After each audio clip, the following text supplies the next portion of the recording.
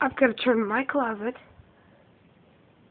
into a YouTube office so I can do my videos. Because it's got good lighting, my switch, everything, and a door so I can do this perfectly. So I got a laptop, so I even got a ladder in here for some reason, boxes and all that.